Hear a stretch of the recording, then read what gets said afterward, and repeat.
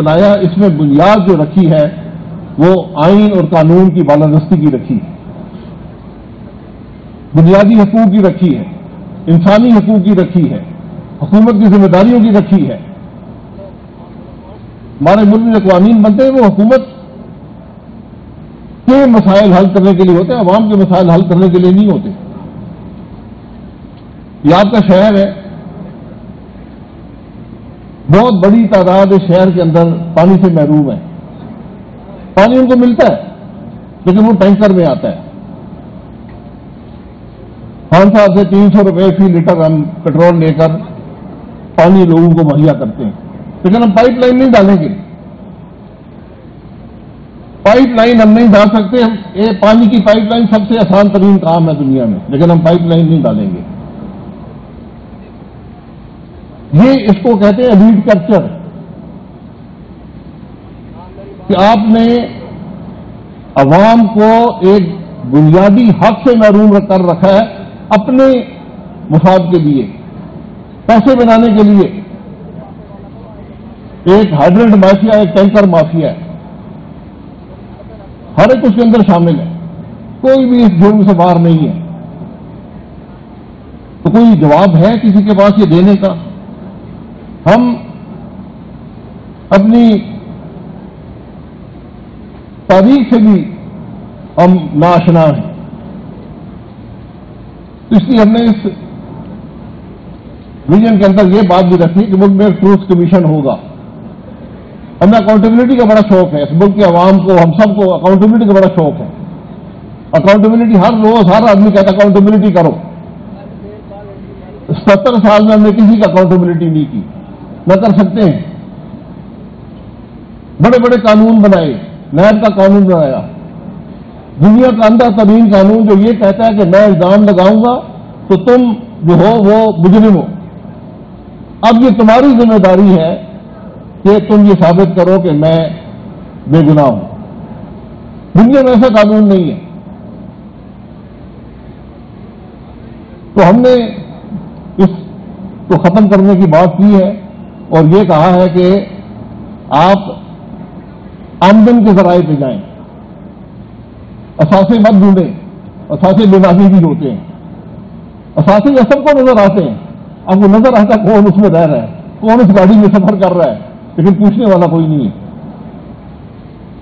لیکن آمدن، جب آپ اس ملک میں کہیں بھی دنیا میں رہتے ہو، آپ خرچہ کرتے ہیں تو آپ کی آمدن ہونی چاہیے۔ جب آپ کی آمدن ہوتی ہے تو حصے دار ہوتا ہے۔ اس کا نام ہے حکومت۔ ہمارے پاس دنیا کا بہترین، سب سے بہترین نظام موجود ہے، جسے ہم شناختی کارڈ کہتے ہیں۔ ہم بڑا بڑا آسان نظام ہے۔ میں پہلے بھی بہت دفعہ کہتا اور مفتا صاحب نے ہم نے کام بھی کیا کہ جو شناختی کارڈ رکھتا ہے، وہ ایک ایک شہری ہے، ایک ذمہ دار شہری ہے، ووٹ بھی ڈالتا ہے۔ اس ملک کے معاملات میں حصے دار ہے۔ اور اس کی ذمہ داری ہے کہ ٹیکس ادا کرے۔ اگر اس کی کوئی آمدن ہے تو۔ تو بڑا آسان ہے، شناختی کارڈ کا نظام ہے۔ آپ ایک ایپ بنا دیں، ہر شناختی کارڈ ہولڈر ایک ٹیکس ریٹرن فائل کرے گا۔ جو ایک سمپلیفائی ٹیکس ریٹرن ہوگی، آپ ایپ پہ جائیں کہیں گی میں، نہیں، میں، میری کوئی انکم نہیں ہے، خدا حافظ۔ لیکن وہاں سے وہ وہ ابتدا ہے ملک کے جو ٹیکس کے معاملات کی بات کرتے ہیں، جو چوری کی بات کرتے ہیں۔ کہ ہر شخص میری جہاں سے بھی آمدن ہے۔ اگر میں خرچہ کر رہا ہوں تو میرے آمدن ہونی چاہیے، اگر آمدن ہے تو حکومت حصے دار ہے۔ اگر میں ٹیکس نہیں ادا کروں گا تو پھر اپنی آمدن کو، اپنے اخراجات کو جسٹیفائی نہیں کر سکوں گا۔ تو پھر میری جگہ کو غریب آدمی انڈائریکٹ ٹیکسیشن کے ذریعے سترہ اٹھارہ فیصد جی ایس ٹی لگ جائے گی۔ پیٹرول پر ٹیکس لگ جائے گا، بجلی پر ٹیکس لگ جائے گا۔ آپ بجلی کے ٹیکس آج نکال دیں تو ریٹ جو ہے سات آٹھ روپے فی یونٹ گر جائے گا۔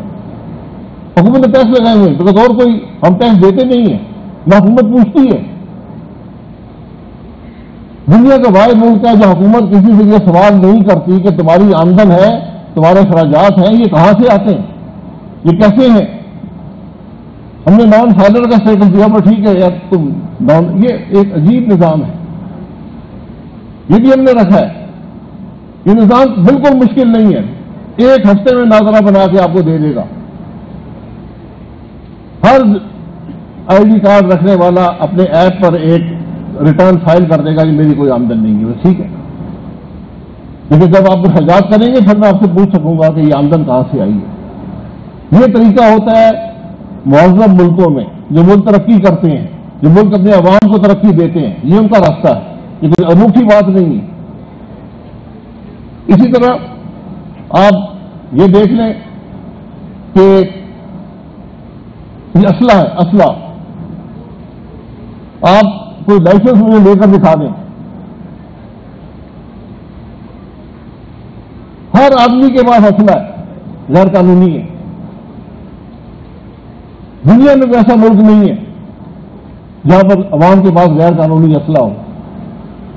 کیونکہ آپ نے اسلحہ لینا مشکل بنایا ہوا ہے۔ آپ ایک سادہ سا نظام ہم نے لکھ دیا ہے ویژن کے اندر کہ ہر شہری جو ہے وہ اپنے سی ایل آئی سی پر اسلحہ لے سکتا ہے۔ ریکارڈ بھی آ جائے گا کون سا اسلحہ رکھا ہوا ہے۔ دنیا میں ایک ملک ہے جو آٹومیٹک ویپن جس طرح یہ کلاسٹک آف ہوتی ہے جس کو لائسنس جاری کرتا ہے، صرف ایک ملک ہے، اس کا نام پاکستان ہے۔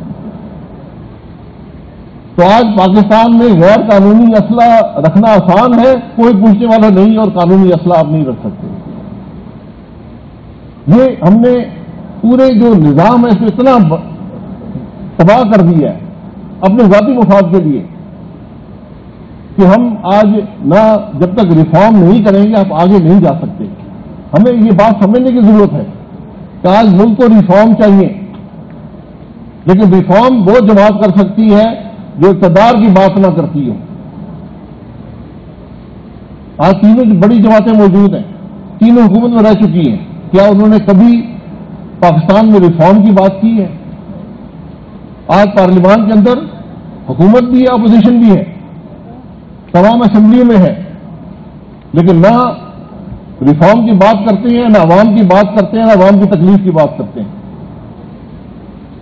آج بجلی کے بل، میں ذکر کیا، ایک بہت بڑا مسئلہ ہے۔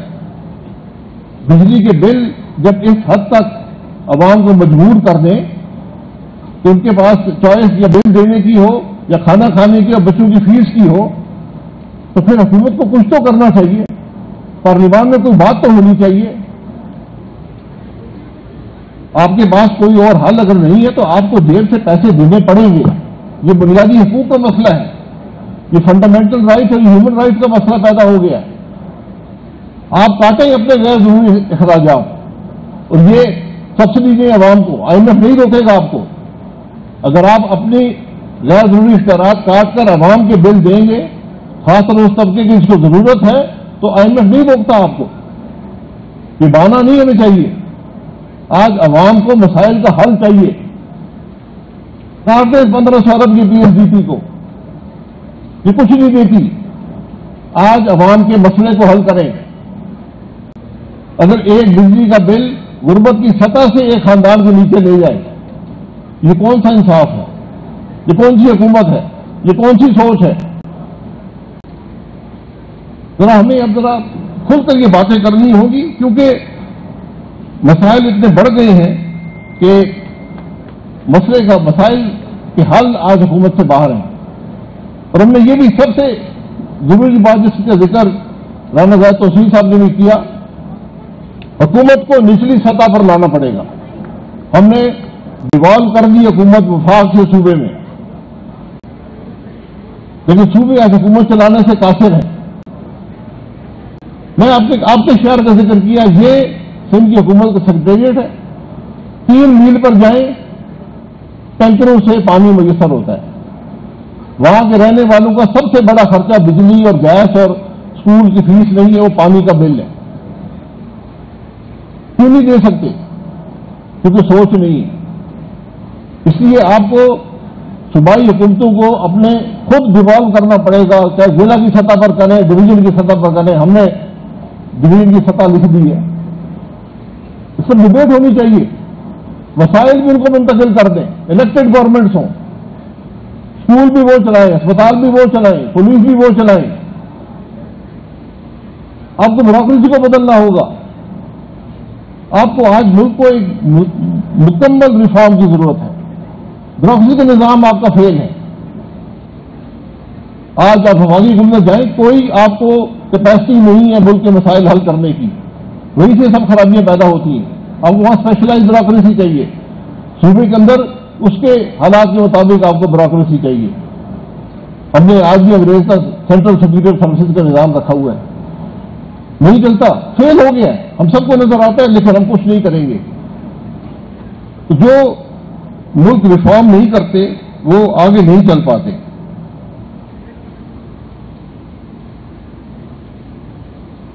کتنا ٹائم میں یہ باتیں بہت سی ہیں، کیونکہ ملک کے مسائل کی یہاں پر بات ہے۔ ہمیں کھل کر بات کرنی چاہیے۔ آج میں پھر کہتا ہوں، جب تک آئین کے راستے پہ نہیں آئیں گے، آپ کے مسائل حل نہیں ہوں گے۔ جب تک اس ملک میں آئین کی بالادستی نہیں ہوگی، قانون کی بالادستی نہیں ہوگی، اس ملک کے مسائل حل نہیں ہوں گے۔ کسی خام خیالی میں نہ رہیں۔ ہم سب نے دیکھ لیا سارے نظام ہم نے چلا کے دیکھ لیے صدارتی نظام بھی چلائے ہیں ماشاء اللہ بھی چلائے ہیں۔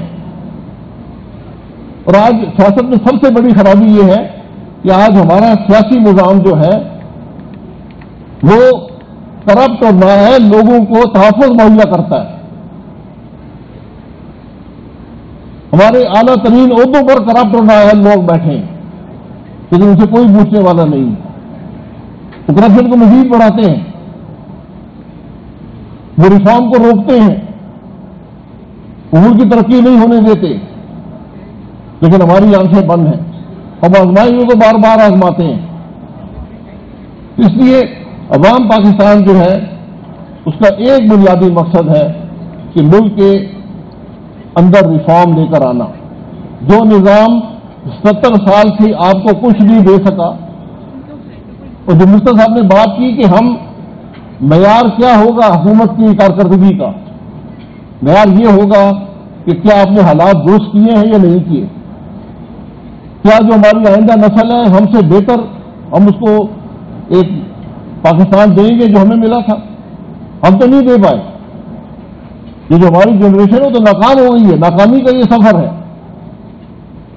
حالات بد سے بدتر ہوتے گئے۔ اور آج جو کچھ ہم کر رہے ہیں، ہم اگلی جو نسل ہے اس کا بھی حق ہم آج ضائع کر رہے ہیں۔ چاہے وہ ایجوکیشن میں ہو، چاہے وہ صحت میں ہو، چاہے وہ گورننس میں ہو، چاہے وہ پانی میں ہو، بجلی میں ہو، کسی بھی زندگی کے شعبے میں، حکومت کے شعبے میں زوال ہے۔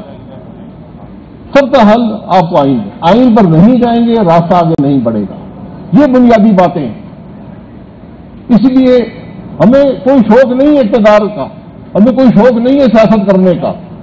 ہمیں جو یہ لوگ یہاں بیٹھے ہیں، جو اس پلیٹ فارم پر بیٹھے ہیں، یہ ایک ذمہ داری محسوس کرتے ہیں، جو آج ہر پاکستانی محسوس کرتا ہے کہ ہم اس ملک کو ان مسائل سے نکالیں، اس تکلیف عوام کو اس تکلیف سے نکالیں، ایک نیا راستہ دیں، ملک کے اندر ریفارم لائیں، ملک کے حالات کو درست کریں۔ یہ ایک سفر ہے، یہ ایک دن کی بات نہیں ہے، ایک مذاتی فیصلے کی بات نہیں ہے۔ ایک سفر ہے، لیکن اس کی ابتدا کرنی ہے۔ اور وہ ابتدا آج حکمران حکمران نہیں کر سکتے۔ یہ بڑی بنیاد